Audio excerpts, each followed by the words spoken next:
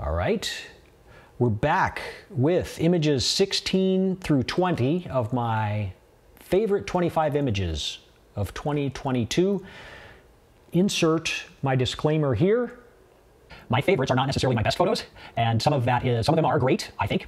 Uh, but that's the thing about best is it's totally subjective. So what I think is best is probably not what you think is best, and everybody has different ideas on what is best. And now that that's out of the way, let's get back to the images. Uh, this is a landscape image, one of only a couple pure landscape images that are included in my top 25. It seemed to be a year of wildlife. Uh, but this one is just, you can't pass this stuff up. I, this was the same day of the elk that was the last image on my last video, if that even makes sense, where I was out on a workshop with Jen. Link to Instagram below.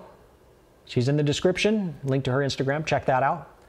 Uh, and we were out looking for wildlife, but when you see stuff like this happening, you have to stop and take pictures of this kind of stuff. It's just incredible morning with that elk. We had tons of fog, and the elk action was amazing. Got some beautiful environmental stuff with the elk.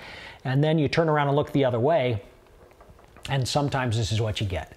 And so this was one of those magic moments of just like a perfectly framed Grand Teton in perfect light the framing with the bright clouds and fog, and then the snow in the middle with a dark, stormy background. Uh, I don't know what else you could ask for. I can't think of anything else to ask for on this one. So it's wonderful. I went to black and white and punched up the contrast even more than a very contrasty scene that it was to really emphasize the darkness of those storm clouds and then the brightness of the snow and the fog and the clouds. So uh, just wonderful black and white image, added some contrast, and bang. I love this one. Just a classic view of the Tetons that you, the Tetons look beauty, beautiful all the time, but when you get a situation like this once or twice a year, it's like magic. And that was that one. So Nikon Z9 with the 70 to 200. ISO 64, f8, 1 125th of a second. Again, really good image quality there at ISO 64, f8, everything is absolutely tack sharp on a really super tack sharp lens. I can print this thing huge and it will look awesome. Feel free to buy a huge print of this. It'll look awesome. And next image, all right, more, more elk so here we are. This one we've moved into early October now. Another like magic morning in the Tetons, chasing elk around out there with some ground fog. We're out there before before sunrise, and we have the peachy sky and the ground fog and this massive bull elk. I think he's seven points by seven points. He is awesome. He's one of the huge studs out there, and we were lucky to find him out there roaming uh, this particular image, he paused with that tree in the, in the frame as well to kind of balance it a little bit and looked, gave us a beautiful pose, caught a little glint in his eye of the rising sun off the other direction. Uh, just peachy sky. His antlers are like perfectly clean background with that fog behind him. And just make him sharp and I prefer that tree being out of focus with the blurry f2.8 that's the Z9 400 f2.8 ISO 500 12 50th of a second. So super clean wonderful image quality. Uh, I like the composition with having that tree in there uh, giving it a little bit more depth. And obviously the subject is fantastic as well. I was on a workshop this day with Jim and Ken and we had an absolute blast out there and we made a ton of really amazing photos of this elk. Uh, this is just the one that I happened to like the best. So that's the one I chose for my top 25. Anyway, Jim and Ken, we had an awesome day out there. It was great. Uh, now on to another elk in October. This is a group of elk. I was on a workshop this day with Bill. Bill and I were out there together um, following this big bull around with his harem. And this is a backlit scene when they came over a little ridge and there was fog and a little bit of dust in the air there. And so we got that drama, the mood of that environment. Um, so the morning sun was just coming up, backlighting all that uh, foggy breath and the dust that that herd had kicked up. And I just had a little gap there where the big bull was trailing the cows, which they often do. The cows come through first and then the big bull follows them around. So he was following them in. Uh, I waited for a little moment where there he was in a gap between his harem. And uh, so I could isolate him a little bit. I put the focus on him. Uh, so he's the sharpest and can draw a little attention to him, even though he's like certainly not the most visually dominant in the frame. Uh, your eye eventually makes it to him, and that's that's the focal point of the image. So this is again the Z9 400 millimeter lens. I stopped this one down to f8. Um, I did want a little bit more depth of field. I'd been shooting this guy with the amongst the harem, so I wanted a little more depth of field to include some of the other girls with him on that. Uh, and so I'm at 25 hundredth of a second, ISO 500. And just kind of telling the story of these big bulls out gathering up their harems and for mating season. Uh, and just these beautiful scenes that happen early in the morning out there. Now we're on to another great gray owl.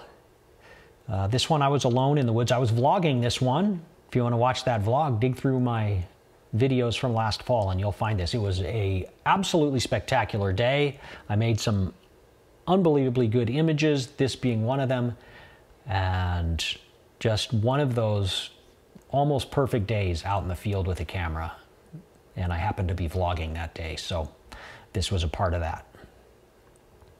Here we are, Nikon Z9, the 400 millimeters at f2.8, one one thousandth of a second, ISO 3200.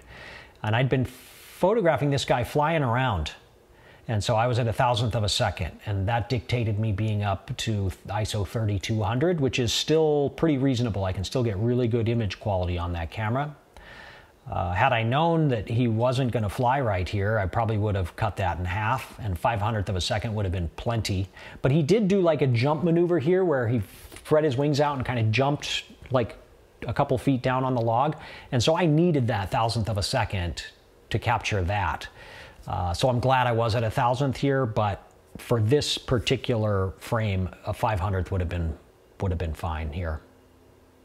So anyway, he was just stepping, walking down this log, he had he was sitting up higher on this tilted log, and then he heard something down here. So he walked down and then was listening to it down here. He eventually gave up on it and flew away, but he was just walking down the log to investigate a noise he heard down there. And they're very awkward when they walk, but so cute. And so this was the awkward, cute walk that he was doing down the log.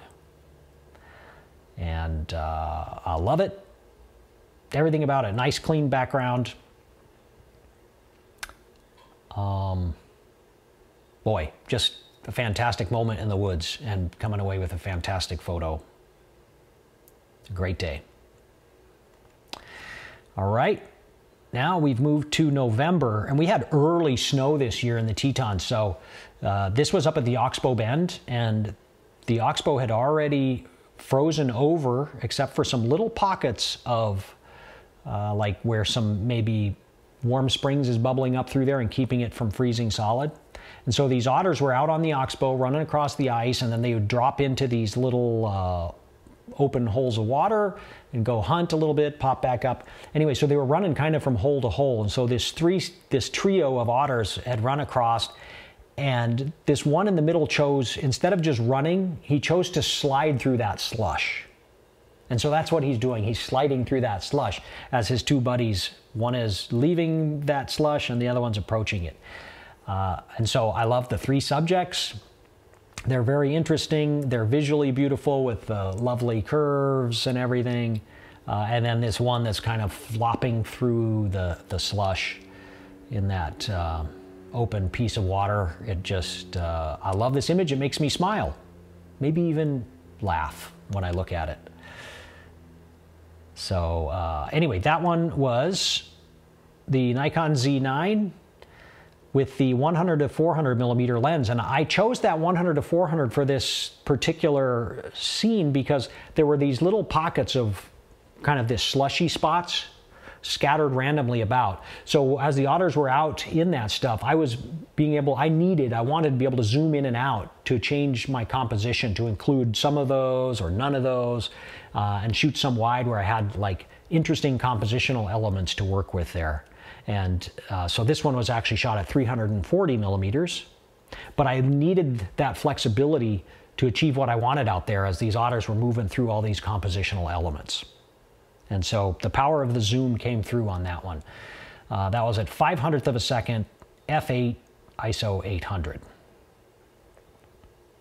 Okay, so that's it. That's number image number 20. So I'm done with this batch of five. We will do one more batch of five, and that will be it. See you on the next video.